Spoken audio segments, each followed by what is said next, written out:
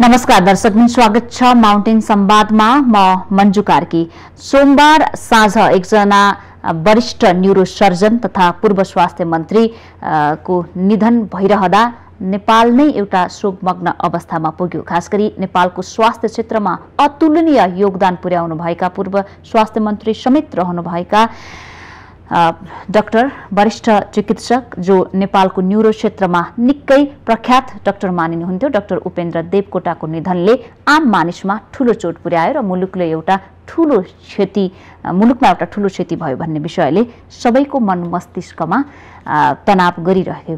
हिजो साँझसम्म हिजो दिउँसो पशुपति आर्यघाटमा राजकीय सम्मानका साथ अन्त्येष्टि गरिरहँदासम्म धेरै मानिसको मन दुखेको थियो। कारण थियो नेपालको अत्यन्तै दयनीय स्वास्थ्य अवस्थालाई एउटा ठुलो योगदान पुर्याउनुभएका डाक्टरको निधन भइरहँदा डाक्टरबाट प्रभावित भएका ज्यान जोगाएका मात्रै होइनन् उहाँको कामले प्रभाव पारेका आम मानिसको मन दुखेको थियो। त्यस कारणले पनि उहाँको मृत्यु धेरैलाई पीडादायी बन्न पुगेको थियो।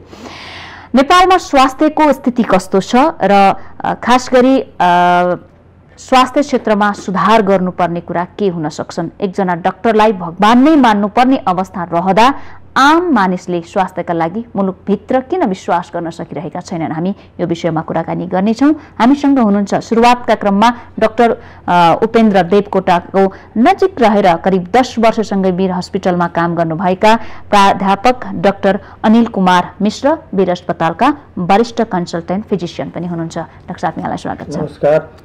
सुरुवातमा म डाक्टर उपेन्द्र देवकोटासँगकै यहाँको सम्झनाबाट जोड्न चाहन्छु। दस वर्षसँग सँगै वीर अस्पतालमा कुरा गर्दा वरिष्ठ फिजिसियन सरी वरिष्ठ neuro surgeon doctor Upendra Devkota कस्तो लाग्नुहुन्थ्यो यहाँलाई? मेरो अरू अरू अरूको पनि होला नजिकको सानिध्य तर मेरो व्यक्तिगत के थियो भने सर्टन कुरामा उहाँसँग धेरै विचार मिल्थ्यो अनि उहाँसँग मैले प्रेरणा पनि पाएँ। के प्रेरणा पाएँ? कि एज ए न्युरो सर्जन त वास्तवमा उहाँले नेपाललाई न्युरो सर्जरीको विभाग नै स्थापना गर्नुभएको त्यसको जे जति विकास भएको छ उहाँको एकल प्रयास थियो। टिमले सहयोग गर्यो राम्रो काममा सबैले सहयोग गर्यो उहाँलाई तर इनिसिएसन पहल उहाँकै थियो। त्यो कुरो इतिहासले नै त्यसको साक्षी भएर बस्नुपर्छ।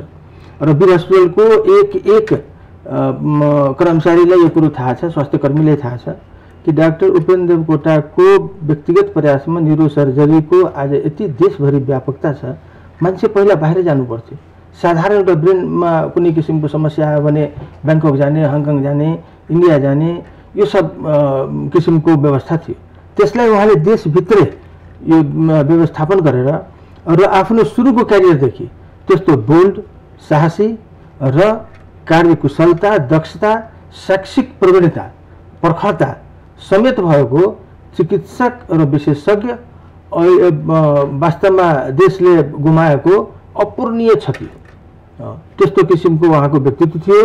र उहाँसँग मैले एउटा प्रेरणा के पाएँ भने वीर अस्पताल पहिलेदेखि यो अहिले त अब एक सय अठाइस वर्षको भइगयो।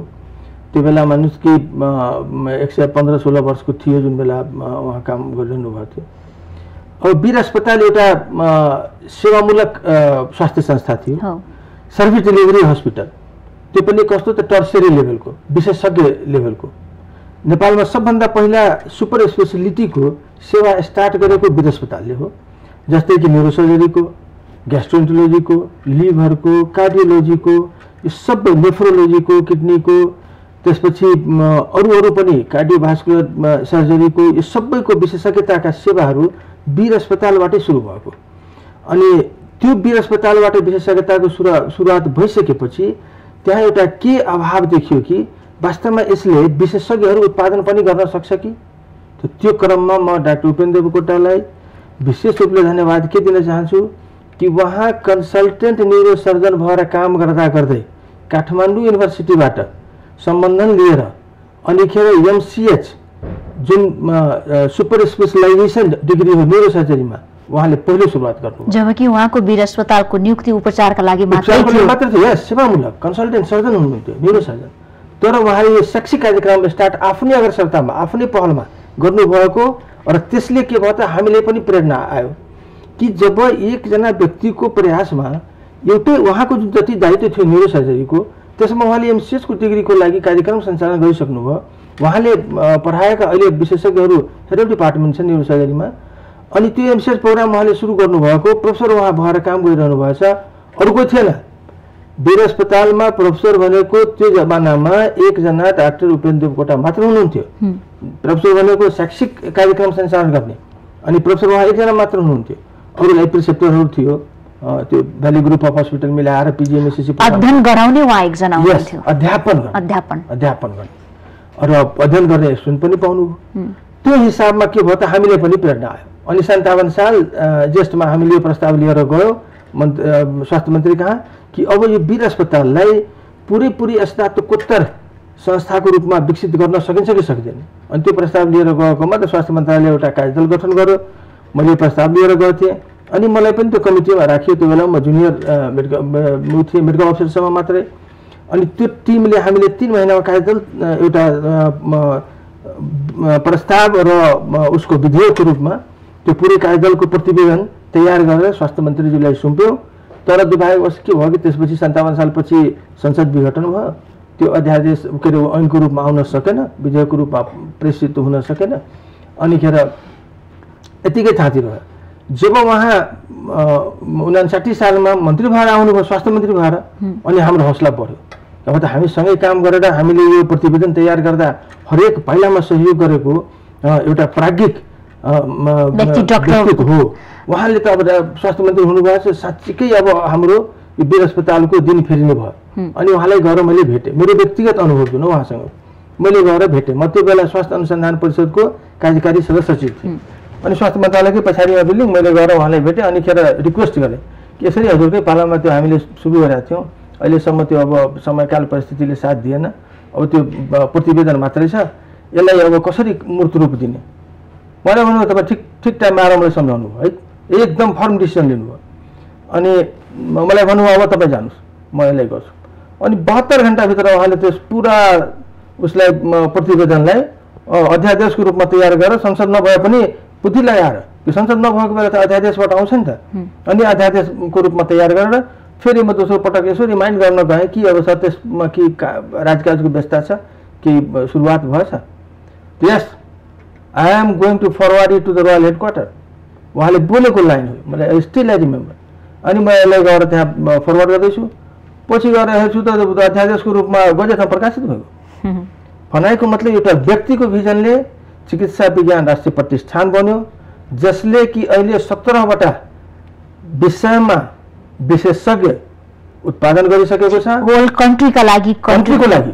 अनि एघारवटा सुपर स्पेसलिस्ट सब्जेक्टहरूमा सुपर स्पेसलाइजेसन दिएर मेचीदेखि महाकालीसम्म कुनै अस्पतालमा जानुहोस्। विशेषज्ञहरू कहाँबाट आउनुभयो? त्यो वीर अस्पताल। सुरुवात डाक्टर उपेन्द्र उनासाठी साल मनसिरमा अध्यादेशबाट ल्याएर स्थापना गर्नुभयो। जबकि धेरै विरोध भयो त्यसको विरोध भयो कि अध्यादेश भनेको त नभई नहुने अवस्थाको लागि हो। यो कसरी अध्यादेशको रूपमा ल्याइयो त? अरू संस्थानहरू त थियो नि त्यसले पठाउँथ्यो नि त। उहाँले भन्नु होइन यो वीर अस्पतालको उन्नतिको लागि चाहिन्छ। अनि यो अध्यादेशबाट ल्याउनुको कारण कि संसद भएकै बेला सन्तावन सालदेखिको निरन्तरता हो। अनि त्यो काम थाती राखेको त्यसलाई रोक्नु भएन राजकाजलाई व्यवस्थित गर्नुपर्छ अनि त्यो कुरा क्लियर भयो। कोर्टबाटै कि सुप्रिम कोर्टबाट क्लियर भयो? अनि त्यो स्थापना भयो। दोस्रो उहाँसँगको अनुभूति? अब म लि- कलेजो रोग विशेषज्ञ। उहाँले पनि अब के हेपाटाइटिस बीको हामी भ्याक्सिन दिइरहेको थियौँ विदेशमा उहाँ पनि आउनुभयो एकपटक। कि ल ल त- तपाईँ लिभरको विशेषज्ञ तपाईँ आफ्नै हातले मलाई एउटा सुई लगाउनुहोस् त। अँ यसरी याद गर्दै। लगाइदिन्छु के साह्रो सिनियर कलि हुनुहुन्थ्यो? खुसी लाग्यो लगाएछु। त्यो कुरा उहाँ सम्झिरहनु भएको थियो मन्त्री भएपछि। अनि मैले गएर भेट्दा भन्नुभयो तपाईँको हेपाटाइटिस बीको भ्याक्सिनको के भइरहेछ? मैले भ्याक्सिनको त कहीँ के देशमा सुरुवातै छैन। यस तपाईँ ठिक टाइममा आउनु फेरि हेर्छु मलाई पन्ध्र दिनपछि बोलाउनु भयो दस दिनपछि दस पन्ध्र दिनको बिचमा। अनि भन्नुभयो कि मैले अब विभिन्न किसिमले यसलाई नीतिगत रूपमा राखेर अहिले पुरै देशभरि त सम्भव छैन। तर बाह्रवटा जिल्लामा पाइलट प्रोग्रामको रूपमा म यो कार्यक्रम सञ्चालन गर्छु अनि पहिला तपाईँकै जिल्ला जनकपुरबाट सुरु गर्छु। अनि मेरो भाइरको कार्यक्रम थियो मैले त्यसले रोकेर अनि उहाँ जानुभयो गएर त्यहाँ हेपाटाइटिस बीको खोप आफ्नो हातले एउटा बच्चालाई डाक्टर रवि सुई लगाउनु के कुरो र त्यत्रो न्युरोसर्जन आफ्नै हातले सुई लगाएर हेपाटाइटिस बीको भ्याक्सिनको उद्घाटन गर्नुभयो। जनकपुरबाटै। जनकपुर जलसदमा गएर राखेर अनिखेर त्यो ऊ भयो। त्यसको सुरुवात भयो। अब एउटा राष्ट्रिय कार्यक्रमको रूपमा त्यहाँबाट सुरुवात भयो हेपाटाइटिस बी पछि गएर गभर्मेन्टले के त्यसलाई महसुस गर्यो कि वास्तवमा यो त भिजनरी मान्छे थियो। यो त आउने पुस्ता हेपाटाइटिस बी भयो भने त देशभरि नै यो ज्वालामुखीको विस्फोट हुन्छ स्वास्थ्यको। त्यसपछि अहिले अब के गरिदिए त्यसलाई विस्तारित खोप आयोजना जुन हो गभर्मेन्टको सबैलाई अनिवार्य खोप दिने त्यसमै राखिदियो। यो भिजन पुर्याउने मान्छे डाक्टर उपेन्द्र अ, स्वर्गीय उपेन्द्र देवकोटा हो भन्दा दुःख लाग्छ। तर वास्तविकता हो। उहाँकै यो भिजन हो दृष्टि थियो र निर्णय गर्ने क्षमता। सार्प डिसिजन गर्ने। आयो भने अलमल नगर्ने हुने कुरो छ भने गरिहाल्ने। छैन उहाँको चित्त बुझ्नु पर्यो। देशको लागि उपयोगी छ राष्ट्रको लागि काम लाग्ने हो। जनताको उद्धारको कुरो छ। तुरन्त एक्सनमा आयो खासमा राजनीतिक व्यक्तिहरूले हुन त हरेक नागरिकको धर्म दायित्वभित्र पर्छ। आफ्नो राष्ट्रियता र राष्ट्र प्रेम अ, उत्तरदायित्व पनि हो। एकजना डक्टरले आफ्नो सबै क्यापासिटी हुँदाहुँदै आफ्नै देशमा देह त्याग गर्ने भनेर आफ्नो उपचारलाई छोडेर नेपाल फर्किनु भयो हिजो उहाँको विदाई गरिरहँदा अधिकांशको आँखा पनि रसाइरह्यो। यहाँसम्म आइपुग्दा उहाँको एउटा जर्नी तपाईँले भन्नुभयो। हरेक कुरामा आम नेपालीको राम्रो कुरा सोचेको देखिन्छ। एउटा डक्टरले चाह्यो भने के हुँदो रहेछ मुलुकमा? आखिर डक्टरको निधन हुँदा पनि त राष्ट्रिय राजकीय सम्मान दिँदो रहेछ देश पनि रुँदो रहेछ। खासमा नेतृत्वकै देखिन्थ्यो योभन्दा अगाडि। अब डाक्टरको एउटा के छ भूमिका जीवनमा कि वास्तवमा डाक्टर भनेको दुःखसँग जोडिएको उसको जीवन हुन्छ। डाक्टरको जीवनमा हेर्नुभयो भने डाक्टरले पढ्ने कुरा पनि दुःखको सुन्ने पनि जो आउँछ दुःखकै कुरा सुनाउँछ हेर्ने पनि दुःखितलाई हो कुरा गर्ने पनि दुःखकै लागि हो। त्यो दुःखको पीडा कसैले बाँडेको छ? जब जब दुःख हुन्छ तब डाक्टरको नजिक दुखी मानिस हुन्छ। हो मानिस हुन्छ। त्यसले डाक्टरको वरिपरि चारैतिर दुःखै दुःख अनि त्यो दुःखमा उसले सुख बार्ने काम गर्छ। अनि त्यो सुखी बनाउनलाई त्यसको दुखित मनस्थिति दुखित शरीरलाई त्यो खुसी गर्ने उपायहरू सृजना गर्ने स्थितिको विशेषज्ञता चिकित्सकसँग हुन्छ। अनि त्यसैले त्यो डाक्टरलाई मान्छेले एउटा के छ कि त्यो सङ्कटमोच नै मान्छ। यो त सङ्कट नै हटाउने हो। यो विघ्न नै बाधा हटाउने हो विघ्न विनाशक हो।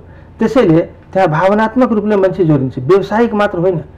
त्यो मानसिक रूपले नै पनि उसको एउटा के हुन्छ कि मलाई त रिलिफ दियो सङ्कटमा यसै व्यक्तिले। र डाक्टर देवकोटाको त अरू के थियो कि उहाँ न्युरो सर्जन न्युरो सर्जनमा अब भन्नुहोस् नेपालमा त्यो पनि एउटा म सुनाउँछु कि मोटरसाइकल एक्सिडेन्टमा सबभन्दा बढी मान्छे आउँथ्यो न्युरो उसमा हेड इन्जुरीमा। म मन्त्री हुन साथ तुरन्त लागु गर्नुभयो। कि अगाडि पछाडि दुवैले हेलमेट लगाउनुपर्छ। अनि त्यो गृह मन्त्रालय फरवार्ड गर्नु गृह मन्त्रालय लागु गर्यो। केही दिन हेर्नुभयो होला कि काठमाडौँको बाटोमा दुवै सवारले मोटरसाइकलमा हेलमेट लगाएको छैन भने चलाउनु दिँदैन थियो। अब पछि त्यसलाई कसैले फलो गरिदिएन तर उहाँले एउटा नजिर त देखाइदिनु भयो। जी बुझ्नु भएको थियो समस्या. समाधानका आफ्नो अपनाउनु भयो। कि यहाँ हेड इन्जुरी भएर आउनेको त? अगाडिको चालक बाँच्छ पछाडि बसेका मान्छे हेड इन्जुरीमै जान्छ। अनि दुइटालाई हेलमेट लगाउन सुरु गराइदिनु भयो। त्यसपछि यो मादक पदार्थ। मलाई एकपल्ट आएर के भन्नुभयो कि यो अल्कोहलमा पनि हामीले एक्स्ट्रा ट्याक्स लगाउनुपर्छ। अल्कोहलले दुई ठाउँमा क्षति गर्छ। एउटा त तपाईँको कलेजोले बिगार्छ। दोस्रो हेड इन्जुरी गरेर आउँछ। अब यो दुईवटा विभागलाई त्यो अल्कोहलमा लगाएको ट्याक्सबाट यसको स्तरोन्नति गरेर अनिखेर यसलाई कति न्यूनीकरण गर्न सकिन्छ त्यो न्यूनीकरण गर्ने। कलेजो जने क्षति अल्कोहलले गर्दा र उता दुर्घटना भएर हेड इन्जुरी अथवा विभिन्न किसिमको फिजिकल इन्जुरी नै लिएर आएर त्यसलाई न्यूनीकरण गर्ने। त्यो भिजन थियो उहाँको। तर त्यो अब चाहँदा चाहँदै त्यो क्रममा के भयो कि अब मन्त्रीबाट पनि ऊ भन्नु हट्नुभयो। अनि त्यसपछिको अब एउटा अवधारणा लिएर आउनुभएको। अहिलेसम्म त्यो कार्यान्वित हिजो उहाँ बिरामी भएदेखि नै उहाँले गर्नुभएका विभिन्न अपरेसनहरूको उहाँले गर्नुभएका सहयोगको उहाँले गर्नुभएको अरू सहायताको कुरामा चर्चा हुन थालेको छ। झन्डै बिस हजारभन्दा बढी अपरेसन हो जस्तो लाग्छ उहाँले गर्नुभएको। एउटा डक्टरले एउटा बिरामीलाई जहिले पनि मनोबल दिइराख्छ। ठिक हुन्छ ठिक हुन्छ अन्तिम अवस्थासम्म ठिक हुन्छ चिन्ता नगर्नुहोस् नै भनेको सुनिन्छ। देशकै ठुलो डक्टर होइन एउटा वर्ल्डमा नै डिमान्डेड डक्टर जो आफू प्रख्यात छ थाहा। छ। आफैलाई अब बाँच्दिनँ भन्ने थाहा पाइसके पछिको समय उहाँका लागि कस्तो भयो होला? एउटा डक्टरले अरूलाई जसरी थमथम्याउँछ नि ठिक हुन्छ भनेर।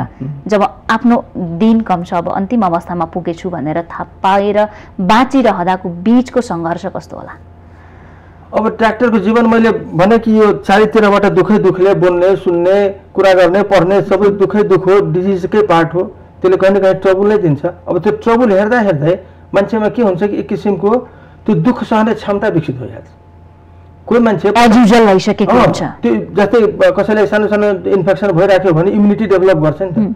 त अब यो डिजिजलाई नै जीवनभरि डिल गर्दा गर्दै त्यो डिजिजलाई फेस गर्ने एउटा भित्रबाट आँट आत्मबल र हिम्मत आउँछ। र त्यो उहाँमा विकसित भइसकेको थियो। त्यसै पनि आत्मबलको बलियो मान्छे बोल्ड सर्जन अनि त्यसमा पनि यो जब आफूमाथि आयो भने भन्नुभयो अरूलाई त मैले जीवनभरि यही आँट दिएँ त्यसले साहस दिएँ अनि म आफै धरापमा पर्नु त? अनि उहाँले त्यो निर्णय गर्नुभयो।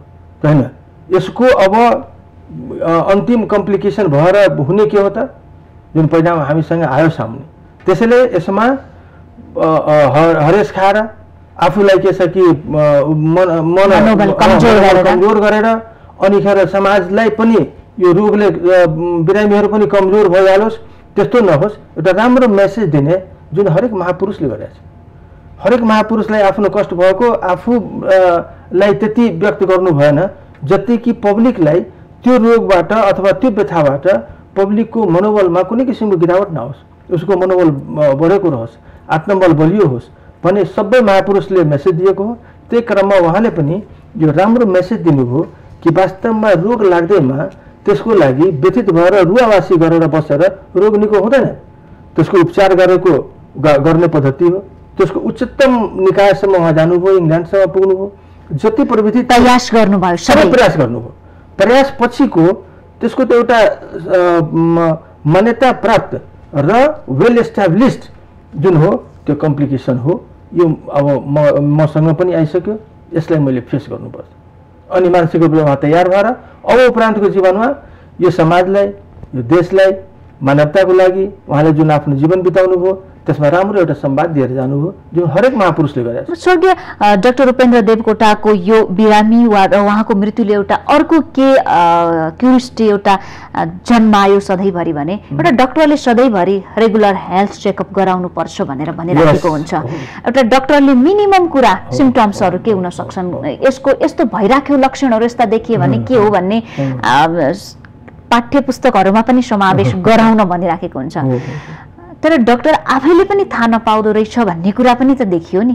हामी रेगुलर हेल्थ चेकअपका कुरा गर्छौँ हेल्थ क्याम्पिङका कुरा गर्छौँ सचेतनाका कुरा गर्छौँ। खानपानमा ध्यान दिने कुरा गर्छौँ रोग लाग्न नहुने कुरा चाहिँ खान हुन्न भन्ने कुरा गर्छौँ।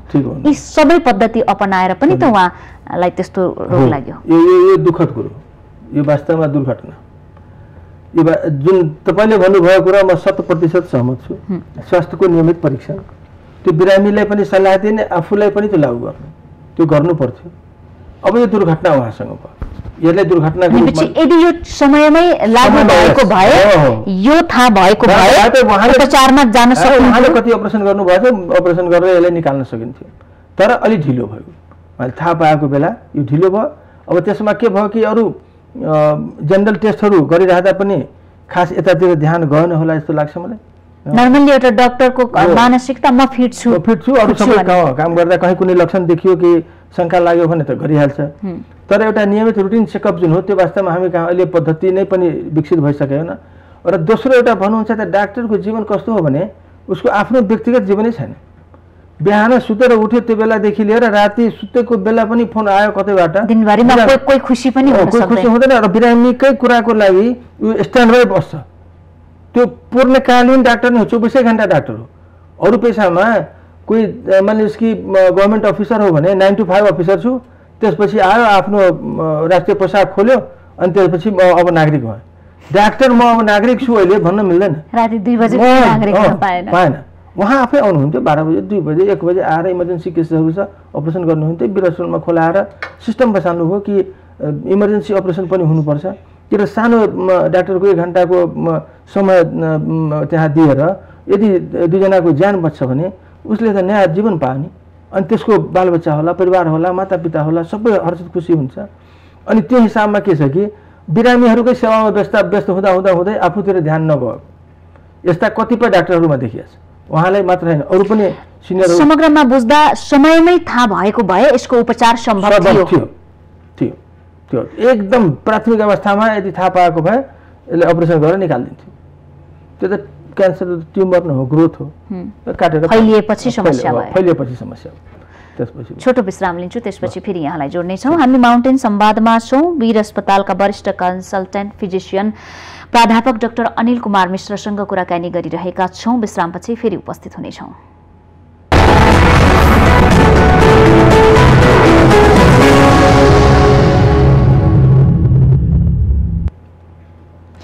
विश्रामपछि स्वागत छ। माउन्टेन संवादमा छौँ र वीर अस्पतालका वरिष्ठ consultant physician professor doctor Anil Kumar मिश्रसँग कुराकानी गरिरहेका छौँ। मिश्रजी यहाँलाई पुनः स्वागत छ।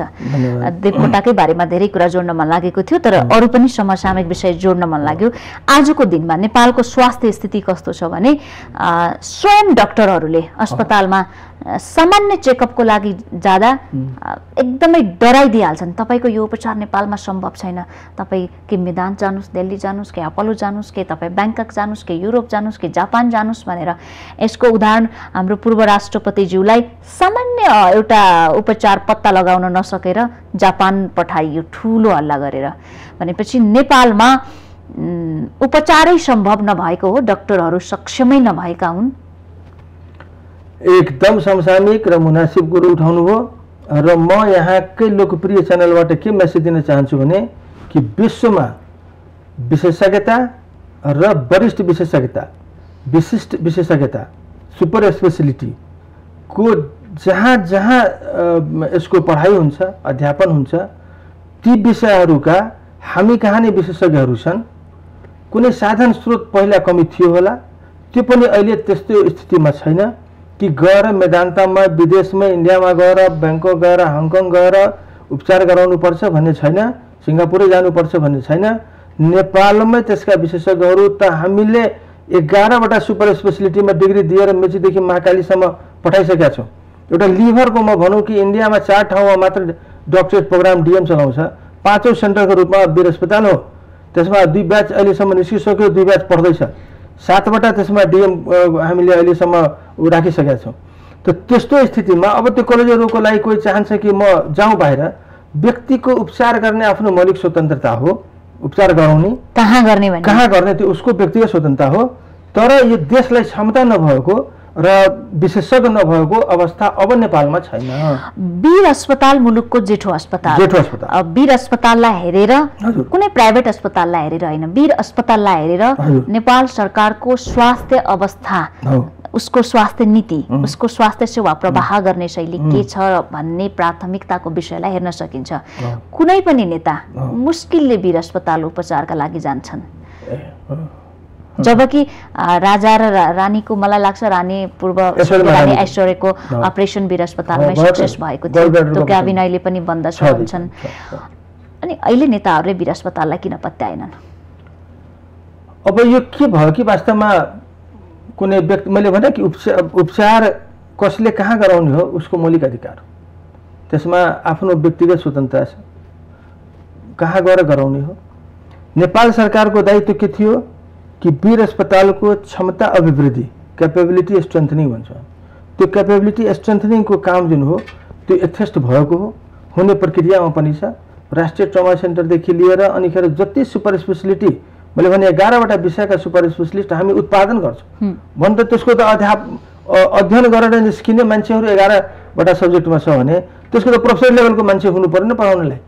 दोस्रो कि दस पास गरेको मान्छेले कमसेकम दसलाई पढाउँछ पौने दसले पनि पढाउँदैन। दसै हुनु पर्यो। त्यो पहिला त प्राध्यापक त्यसको छ प्रोफेसर लेभलको मान्छे हो अनि खेर उसले सुपर स्पेसलिस्ट पढाएर निकाल्छ। त्यो एघारवटा सब्जेक्टमा छ। सत्रवटा विशेषज्ञतामा त विशेषज्ञ उत्पादन गरिसकेका छौँ हामी। भने अब यो मेसेज पब्लिकमा जानुपर्छ र उहाँहरूमा पनि आत्मविश्वास के आउनु पर्यो कि जब हामी कहाँ साधन स्रोत उपलब्ध छ विशेषज्ञ उपलब्ध छ त्यो नै जनशक्तिहरू त्योभन्दा बरु कमर्सियल क्वालिटीको हुनसक्छ कतै। किनभने हामी यहाँ जति सुपर स्पेसलिस्ट को एक्जामिनेसन लिन्छौँ त्यसमा इन्डियाबाट बोलाएका छौँ। इन्डियाको ठुल्ठुलो इन्स्टिट्युटबाट अन्य इन्स्टिट्युटबाट चण्डीगढबाट दिल्लीबाटको अरू इन्स्टिट्युटहरूबाट एक्जामिनर बोलाएर र तिनीहरूसँग बसेर त्यो क्यान्डिडेटको परीक्षा लिन्छौँ। अनि तिनीहरूले भन्छ होइन तपाईँको यो विशेषज्ञ उत्पादन गर्न लायक सक्षम हो यसलाई पास गर्नुहोस्। तिनीहरूबाट इन्डोर्स गराएर सही गराएको हामीसँग त सबुत प्रमाण छ नि। अनि तिनै मान्छे कहाँ गएर हामीले किन गराउनु पर्यो जब ऊ भन्छ कि जब उसैले यहाँ डिग्री दिएर गयो। डिग्री दिएर Yes. अब यो त हाम्रो साइकोलोजिकल प्रब्लम मैले बुझ्दा छ कि हामी यहाँ नगराइकन एउटा के छ कि अब पुरानो मानसिकता जुन छ त्यो बोकेर जुन बेला यहाँ नेपालमा थिएन हो कुनै जमानामा थिएन। अब पन्ध्र वर्ष अगाडि बिस वर्ष अगाडि यति सुपर स्पेसलिस्टहरू थिएन। त्यो बेला मान्छे बाहिर गएर उपचार गरेको ह्याङओभर अहिलेसम्म लिएर बस्नुपर्ने जरुरत मलाई लाग्दैन। र यो पुरानो मानसिकता पुरानो मानसिकता हो। असम्भव छैन छैन उपचार त्यसलाई यहाँहरूले आफ्नो लोकप्रिय उसमा च्यानलबाट मेसेज दिनुहोस् कि आउनुहोस्। सबै किसिमका विशेषज्ञ पनि उपलब्ध छन्। एक से एक आधुनिक उपकरण पनि उपलब्ध छ धेरै सिनियर डक्टर हुनुहुन्छ। अलिकति के जोड्न मन लाग्यो भने आम मानिसको एउटा इरिटेसन के हुन्छ हस्पिटलमा पुगिसकेपछि डक्टरको रेस्पोन्स ठिक हुँदैन।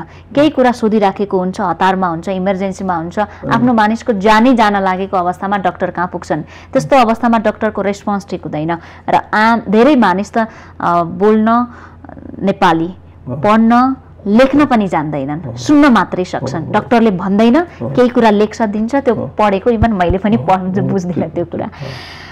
यस्तो अवस्थाबाट तपाईँहरूप्रतिको इरिटेसन र तपाईँहरूको त्यो बिचको आफ्नै वातावरण कस्तो हुन्छ? मानिसहरू किन डक्टरसँग असन्तुष्ट हुन्छन्? अब त्यो कुरा के छ कि एउटा मानवीय मनोविज्ञान छ कि दुखित अवस्थामा बिरामी लिएर जानुको मतलब कहीँ न कहीँ दुःखमा छ पीडामा छ। स्ट्रेसमा हो तनावमा छ। अनिखेर डिप्रेसनमा हुन्छ मान्छे। त्यो बेला उसले के चाहन्छ कि चाहना हुन्छ मलाई तुरन्तै आराम भइहालोस्। त रोगको प्रकृति हेर्नुभयो। अहिले स्वर्गीय देव देवकोटाको डाक्टर देवकोटाको बारेमा हामीले कुरा गऱ्यौँ उहाँलाई पनि के लाग्यो भने अब यो रोग त म निको हुँदैन। यो असाध्यै भइसक्यो। यो इन्क्युरेबल छ। अनि कम्प्रोमाइज गर्नुभयो सम्झौता गर्नुभयो। त्यो पनि मृत्युभाषी भएर बस्नुभयो। लास्ट आवरसम्म पब्लिकमा राम्रो मेसेज दिनुभयो। जुन एउटा महापुरुषले गर्ने काम हो त्यो गर्नुभयो बिरामीको चाहना बमोजिमको वास्तवमा डाक्टरले आफ्नो सर्भिस डेलिभरी दिइरहेको हुन्छ। ऊ विनम्र नै हो। उसलाई कहीँ हतार छैन। तर बिरामीले तुरन्तै जुन चाहना छ त्यो बमोजिमको रोगको प्रकृतिले उसलाई राहत दिएन। अनिखेर उसलाई झर्को लाग्यो। वीर अस्पतालको उपचार त्यो भवन त्यहाँको जति पनि वार्डहरू छन्। अपरेसन डिपार्टमेन्टहरू छन् त्यो सबै हेरेर कति डक्टर आवश्यक छन् र अहिले कति छन्? अहिले त चार सय भन्दा बढी डाक्टर भइसक्यो विदेशमा मोर देन फोर हन्ड्रेड किन टिचिङ चिन्ताको विषय छैन। चिन्ताको विषय छैन। अहिले त हामी कहाँ डाक्टरको कमी नै छैन। यो त डाक्टरको फ्याक्ट्री हो विशेषज्ञको फ्याक्ट्री। नेपालमा एक मात्र पोस्ट ग्रेजुएट इन्स्टिच्युट एक मात्र वीर अस्पताल वीर अस्पताल जसले स्नातकोत्तरको प्रोग्राम मात्रै चलाउँछ। अरू ठाउँमा एमबिबिएसको पढाइ होला अरू अरूको पढाइ होला। त्यो वीरमा मात्र विशेषज्ञ। अर्को कुरा के देखिँदैछ भने समाज जति जति आधुनिक बन्दैछ। जति जति डक्टरहरू प्रडक्ट भइराखेका छन् जति अस्पतालहरू नयाँ नयाँ आधुनिक अस्पताल खोलिराखेका छन्। बिरामीको चाप पनि त्यति त्यति त्यति बढ्दै गएको छ। या पहिला अस्पताल नजाने चलन भएर अहिले रोग लाग्दाखेरि अस्पताल आउनेहरूको सङ्ख्या बढेको हो कि अहिले रोग लाग्न बढी थालेको बढी रोग लाग्न थालेको हो? ठिक कुरो दुवै परिस्थिति छ। एउटा के थियो भने पहिला मान्छेमा जनचेतना थिएन। अब यति मिडिया सामाजिक सञ्जाल सरकारको पनि जनस्वास्थ्य कार्यक्रमहरू त्यसले गर्दा के भयो त जागरुकता आयो मान्छेमा। ए यस्तो लक्षण देखा परेछ? मलाई त कमजोरी लाग्छ थकाइ लाग्छ। आँखामा अलिअलि पहेँलो पनि देखिन्छ। गएर एकपटक डाक्टरलाई देखाइहाल्नु न। त्यो पहिला के हुन्थ्यो? पेट दुख्या छ त ग्यास्ट्रिक छ केही छैन खाने सोडा मान्छे किनेर खान्थ्यो। अब त्यो छैन। अहिले भन्छ कि डाक्टरले त्यो ए, यस्तो पेट दुख्या छ भने नराम्रो रोग पनि हुनसक्छ। गएर देखाइहाल्यो। त्यो त्यो यो सबै मिडियाले जनस्वास्थ्य कार्यक्रमले सामाजिक सञ्जालले एउटा जागरुकता चेतना पब्लिकमा ल्याएको हो। त्यो एक पक्ष हो। दोस्रो पक्ष के छ? कि मान्छे अब यो अस्पतालको सङ्ख्या पनि बढ्यो। सङ्ख्या किन बढ्यो भने एउटै वीर अस्पताल अथवा टिचिङ अस्पतालले सबैलाई थेक्न सक्दैन। त्यसैले त प्राइभेटमा पनि यदि खोलेको छ भने त्यसलाई नेपाल सरकारले व्यवस्थित मात्र गर्नुपर्नेछ। आफ्नो एउटा नियन्त्रणमा एउटा फिक्स्ड मापदण्डमा राखिदिनु कोड अफ। कन्डक्टमा कोड अफ। कन्डक्ट हुनुपर्छ। यो यत्तिकै छाडा छोडिदिनुको मतलब के भयो त पब्लिकमा गएर त्यो यसको रङ मेसेज जान्छ। स्वास्थ्य उपचार राम्रो हुँदैन। कति पटक सुन्नुभएछ कि अब कुन ठाउँमा अपरेसन गर्नुपर्ने कहाँ भएको के भएको यो सब अनेक किसिमको कुराहरू आउँछ नि त। त्यो के भयो भने एउटा कोड अफ कन्डक्ट बनाइदिनु पर्ने हो कि यो अनुसार गरिबको लागि। त्यसपछि समृद्धिको लागि सबैले उपचार गर्न पाउन् सबैको मौलिक अधिकार हो स्वास्थ्य उपचार त्यसको लागि व्यवस्थित गरिदिने प्रक्रियामा सरकार पनि लागेको छ। र अहिले त अब सिनियर सिनियर व्यक्तिहरू स्वास्थ्य मन्त्री भएर आउनुभएको छ। मैले त हेर्दा नेपालको इतिहासमा मलाई लाग्छ कि उप प्रधानमन्त्री स्तरको स्वास्थ्य मन्त्री पहिलो पटक हुनुभयो अब उहाँले केही अब ल्याइदिनु पर्यो नयाँ कार्यक्रमहरू जसले कि जनस्वास्थ्यमा राम्रो असर पारोस् पब्लिकको विश्वास पनि बढोस् त्यो दुवै पक्ष। दुइटै हो। जनचेतना पनि आएको हो र अस्पतालहरू खुलेको पनि ठिक किन भयो भने कुनै एउटा दुइटा अस्पताल जुन परम्परागत थियो हाटेको अस्पताल चारवटा त थियो टेकु पाटन बी र टिचिङ। मुख्य रूपले यही चारवटा अस्पताल थियो। अब यतिका मेडिकल कलेजहरू भइसक्यो। वास्तवमा त्यो मेडिकल कलेजहरू आफ्नो ठाउँमा सेवा प्रदायकको रूपमा काम गर्छ टिचिङको पनि काम गरिरहेछ। तिनीहरूलाई पनि हामी अरू थप जिम्मेवारी दिन सक्छौँ।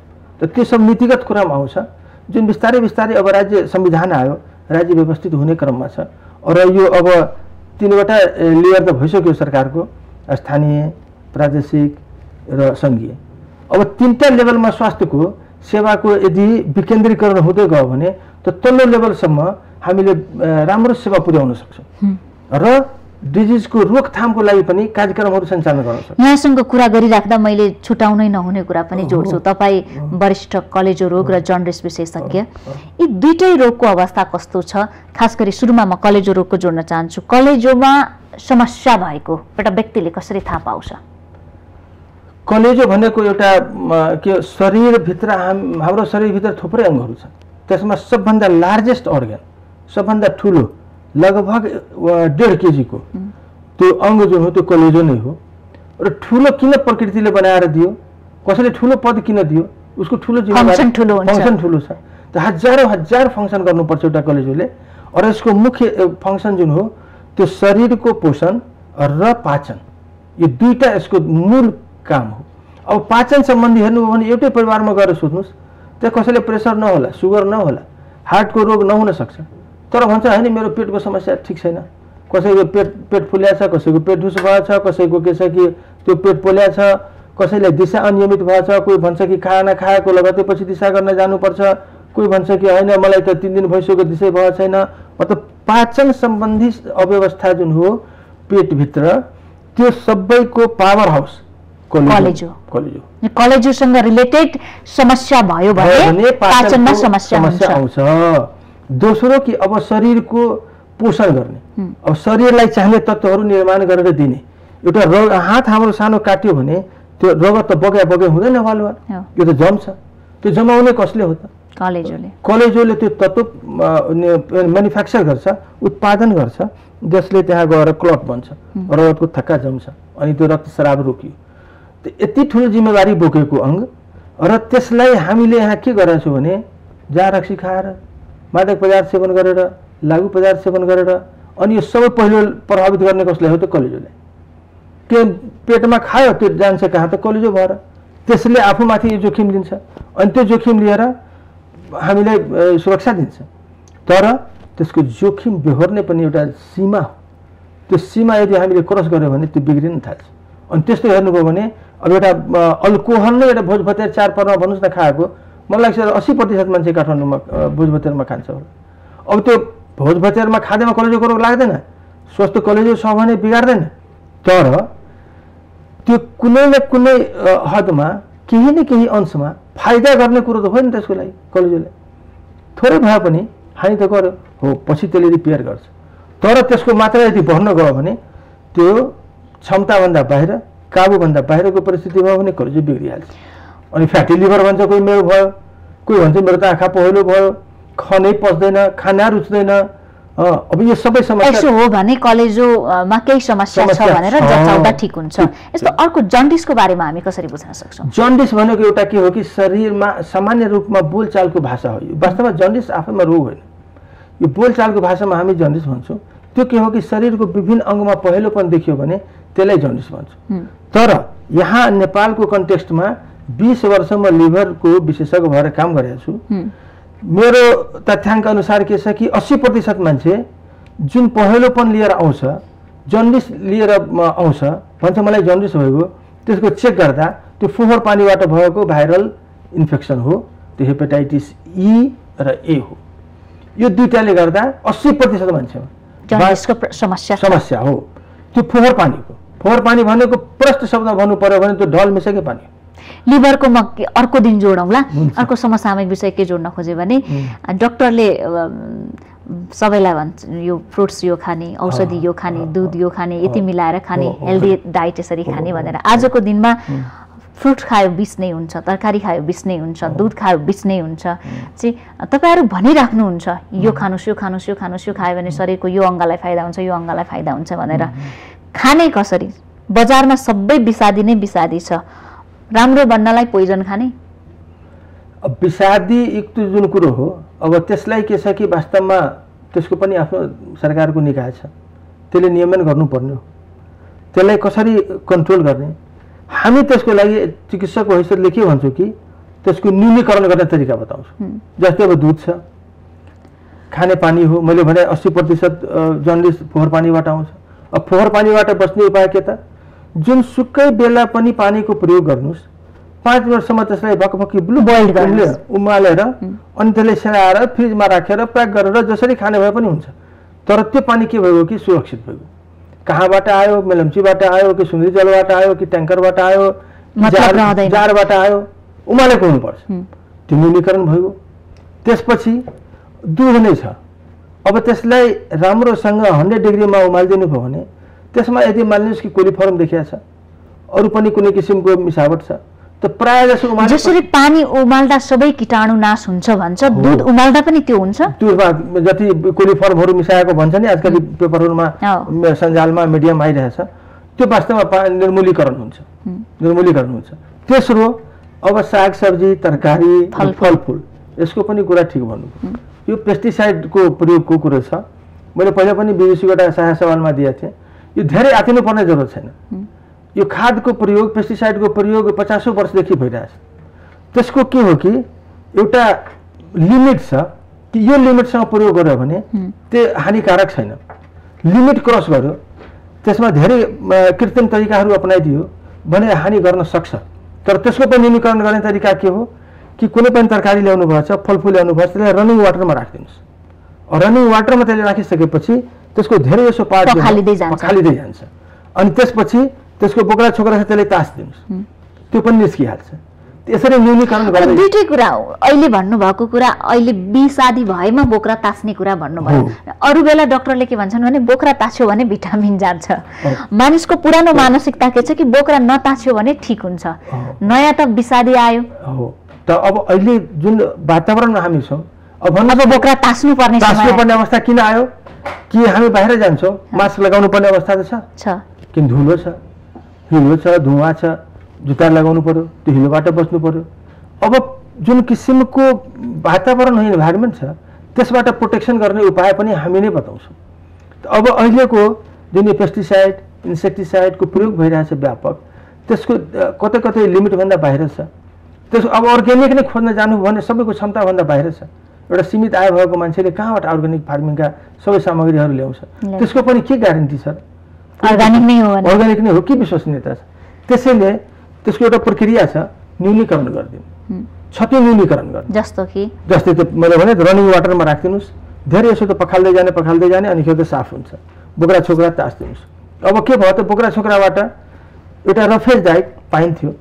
त्यो रफेज डाइटको अर्को विकल्प लिने। विकल्प लिने। त्यो सागसब्जी तरकारीको मात्रा बढाइदिने। सागै हो हरियो साग छ। त्यसलाई राम्रोसँग पखालेर उमालिदिनु पो हन्ड्रेड डिग्रीभन्दा माथि।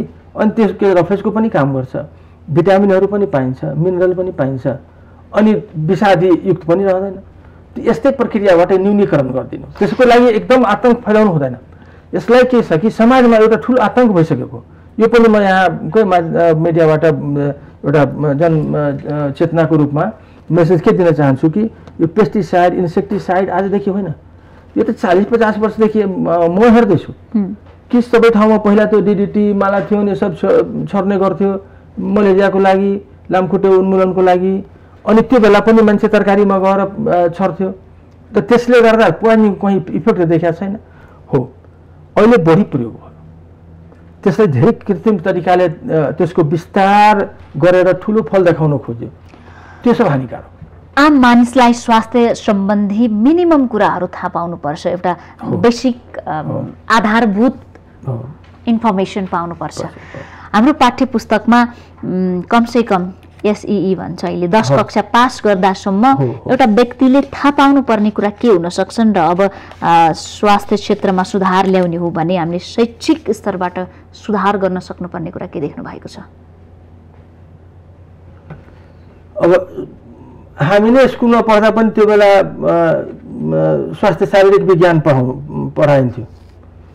तर जनचेतना त्यो छैन अहिले अब हामीले के गर्नु पर्यो? वास्तवमा त्यो पाठ्यक्रमको रिभिजन गर्नुपर्छ फेरि त्यसलाई पुनरावलोकन गर्नु पर्यो रिभ्यू गर्नु पर्यो। समय सन्दर्भ हो समय सापेक्ष हुनु पर्यो। अहिलेको जुन स्थिति छ खाद्य पदार्थको स्वास्थ्यको जुन अवस्था छ मान्छेको जुन बसी बसाइ जीवन भयो ल्यापटप कम्प्युटर मोबाइल यो सबमा काम गर्ने जीवनशैली भयो पहिला यति साधन स्रोत थिएन।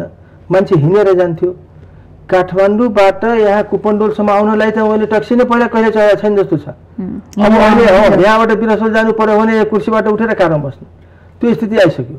त यो सब शारीरिक व्यायामको महत्व खानपानको स्वच्छताको महत्व यो सब जुन हो त्यो बाल्यकालदेखि यदि बच्चाको स्कुलमै मानसिकतामा यसलाई इम्प्रिन्ट गरिदियो भने त्यो बुढेसकालसम्म रहन्छ।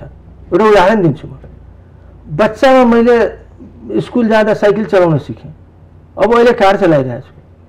तर त्यो साइकल चलाउन अहिले पनि मलाई त्यो भने म चलाइहाल्छु। त्यो बिर्सा हुँदैन।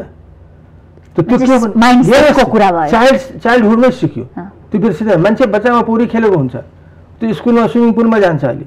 अब त्यो पछि गएर उसले फुर्सद छैन स्विमिङ पुल जाने। तर त्यो बिर्सेको हुँदैन। त्यसैले बाल्यकालमा स्कुलको लेभलमा जुन कुरो त्यो दिमागमा एउटा शिक्षाको रूपमा त्यसलाई इम्प्रिन्ट गरिदियो भने त्यसलाई सिकाइदियो भने त्यो पछि पनि आफ्नो जीवनमा लागू गर्छ उसको जीवनशैली भइहाल्छ। र अहिले हामी हरेक कुरामा भन्छौँ कि जीवनशैली परिवर्तन गर्नुहोस्। है मोटोपन कम गर्नुहोस्। खाद्य खाद्य पदार्थमा चिलो पदार्थ कम खानुहोस्। त्यसपछि के छ कि व्यायाम गर्नुहोस्। स्वच्छ हावामा घुम्नुहोस् हिँड्नुहोस्। यो सब जुन सिकाउँछौँ त्यो बच्चादेखि यदि उसको पाठ्यक्रममै राखिदिएको छ दिनका दिन उसको अभ्यासमा जीवनशैलीमा राखिदियो भने ऊ पछि गएर उसलाई भन्नै पर्दैन। त्यो उसको लाइफ स्टाइलै भइहाल्छ। आफसात भएर उठेर हिँड्न थाल्छ त्यो अलिक गेम खेल्न थाल्छ। समय एकदमै कम छ। अन्तमा एकजना डाक्टरको निधनले यति ठुलो पीडा भयो सबैलाई। एउटा डाक्टर के रहेछ? के हो? डाक्टर एउटा पीडा किन भयो भने डाक्टर पीडाको समयमा काम लाग्ने एउटा व्यक्ति हो जो पीडाबाट उद्धार गर्छ। त्यसैले त्यो पीडाबाट उद्धार गर्ने मान्छे व्यक्तिले गुमायो भने कोही घरको गार्जियन गुमायो भने पुरा घर नै व्यवहारिक जस्तो हुन्छ। अब त्यो एउटा न्युरो सर्जरीको फादर अफ न्युरो सर्जरी उहाँले भन्न लागि। बेस फादर अफ न्युरो सर्जरी। अनि भिजनरी मान्छे मैले भने एकजना व्यक्तिको प्रयासमा उहाँले अध्यादेश ल्याएर आज हजारौँ उसमा विशेषज्ञहरू मिचीदेखि महाकालीसम्म लाखौँ जनतालाई सेवा दिइरहेछ। उहाँले त्यो बेला आँट नगरेर अध्यादेशबाट नल्याएको भए ए संसद आउँछ त्यसपछि पुनर्स्थापना हुन्छ अनि विधेयक जान्छ छोरा भए त आउँदैन थियो होला कि? गोविन्द केसीकै एजेन्डा बन्थ्यो होला यही हो। त्यसैले उहाँको वास्तवमा पीडा अत्य निधन अत्यन्त दुःखदायी हो। पीडाजनक हो। यो पुरै देशवासीको लागि अपूर्णीय क्षति हो। नेपालको लागि र यो समाजको लागि। त्यसैले उहाँको आत्माको चिर शान्तिको लागि हामी सबैले प्रार्थना गर्नुपर्छ। श्रद्धाञ्जली पनि दिनुपर्छ। र उहाँको नाउँ इतिहासमा अमर रहन्छ मेडिकल इतिहासमा। त्यो कुरा त म अहिले नै भन्छु कि यो चिकित्सा विज्ञान राष्ट्रिय प्रतिष्ठानले नै उहाँ अमर गरिदियो। नेपालमा हेपाटाइटिस बीको भ्याक्सिन आफ्नै हातले इन्जेक्सन दिएर उद्घाटन गरेको डाक्टर हो उहाँ मन्त्री।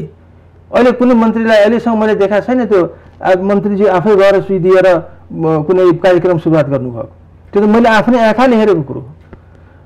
आफ्नै आयुकालमा सँगसँगै गएर।